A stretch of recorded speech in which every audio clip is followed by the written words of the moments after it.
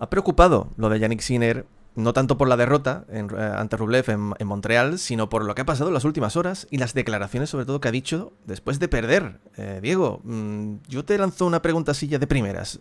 ¿Nos preocupa lo de Yannick Sinner?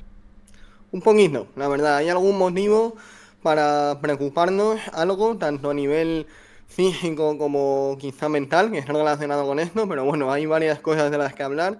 Sinner está haciendo una temporada magnífica y veremos a ver si la acaba en los mismos términos, porque ahora mismo está un poquito en duda la gente. A ver, en cuanto a resultados, no le podemos poner ningún pero. Es el único que ha llegado a cuartos de final a todos los torneos eh, que ha jugado. Eso vaya por delante que no empaña nada. Lo que pasa es que desde hace ya unos cuantos meses viene arrastrando este problema de la cadera en el que ayer, durante el último set eh, del partido ante Rublev, volvió de nuevo a tocarse la cadera, a estar masajeándose esa zona, incluso los micrófonos cazaron a Darren Cahill diciendo, diciéndole al italiano, oye, pide el fisio si te encuentras mal, ¿no? Al final no pidió el fisio, eso es verdad, no será tan tan grave si no paró el partido para, para tratarse, pero Diego, en lo que respecta a la cadera, ahora vamos con otros aspectos que ha dicho en rueda de prensa que nos deja un poquito también, como digo, preocupados, lo que respecta a la cadera, hombre, llama la atención que un chaval de 23 años esté arrastrando tantos problemas ya en la cadera, de hecho ha tenido que bajarse este año de varios torneos por este motivo, y parece ser que no termina de dejarlo atrás. Esto es eh, complicado, ¿eh? Sí, absolutamente. Mm, yo tampoco creo que sea una gran noticia que no pidiera el fisio, porque percibo cierto oscurantismo, ¿no? Por parte del italiano, como si no quisiera transmitir del todo el alcance de su problema o como si lo diera muy por hecho eh, que lo va a tener y considerara que el fisio no le va a resolver nada. Eso sí que sería preocupante. Hay que recordar que hubo mucho rumor eh, antes de Roland Garros en torno a que esa cadera a lo mejor le impedía competir en París, pero es que incluso su carrera a largo plazo podría verse comprometida. Es verdad que lo ha ido compitiendo, pero justo ahora, en el cambio eh, de una superficie a otra, pues ya es el problema. Además, la pista dura es la más lesiva eh, para lesiones de articulaciones como, como esta. Mm, vamos a ver eh, cómo, cómo se desarrolla el tema, pero desde luego lo que vimos ayer no invita al optimismo y aún peor eh, creo yo que fueron sus palabras en rueda de prensa, en las que no quiso hablar del todo de la cadera, pero comentó que mentalmente no está en su mejor momento y que ve muy difícil en Cincinnati eh, rendir al máximo nivel. Eso yo creo que hace saltar un poco las alarmas. Sí, comentó que eh, bueno, físicamente hablando, dice, físicamente no estoy, no me encuentro del todo, bien, tampoco del todo mal. Eh, dice, me lleva muchos días en cama por el problema que tuvo de esa amigdalitis que, comentó él. Eh, pero claro, a ver, en lo que respecta a la cadera, yendo al tema mental, lo de la cadera, uno, como es que no sabemos realmente lo que tiene, entonces no sabemos si es la articulación, si es una pubalgia, si, si es algo operable, si, es, si va a necesitar como Murray una prótesis el día de mañana. Es, que como no sabemos nada, no podemos realmente decir, pero que como digo, con 23 años te estés eh, eh, tan tocado de, de, una parte tan complicada como es la cadera, digo, al, optimismo no invita.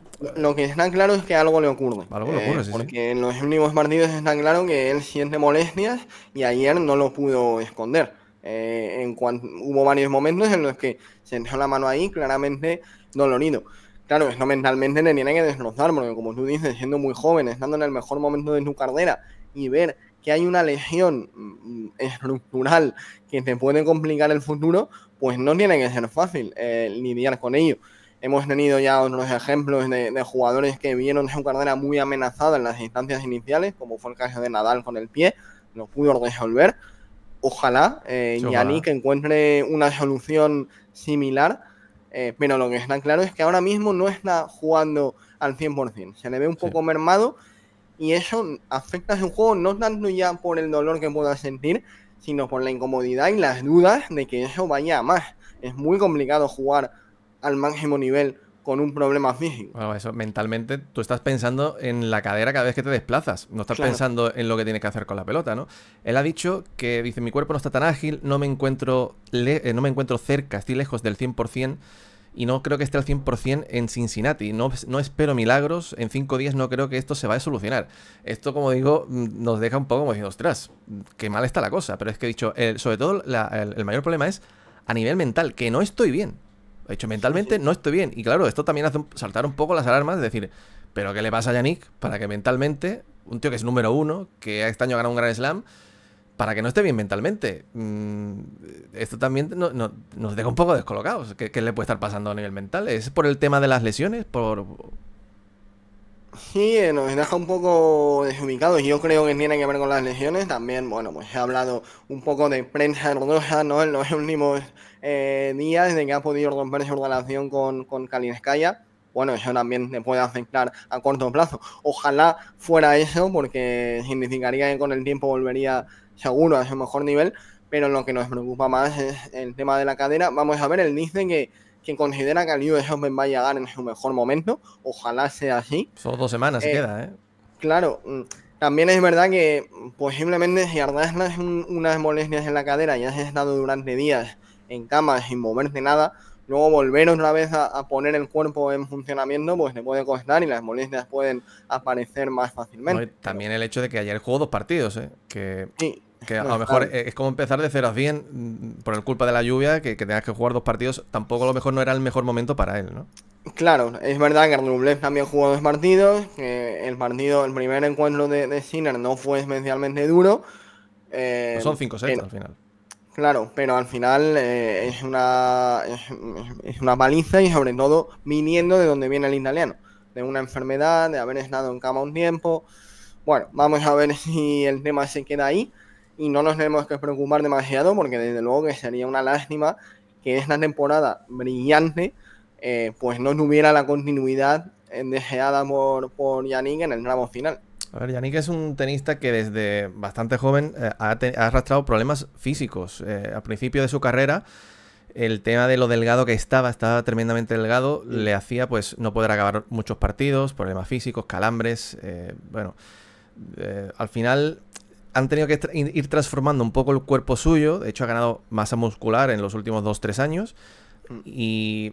Pero el tenis, esto al final te muestra lo complicado que es el tenis, ¿no? Porque a nivel físico, eh, el hecho de jugar 60-70 partidos con la carga que hay a, día de hoy de encuentros y lo largos que son los encuentros que porque antiguamente se jugaban más partidos, pero es que el juego era mucho más rápido de lo que es hoy.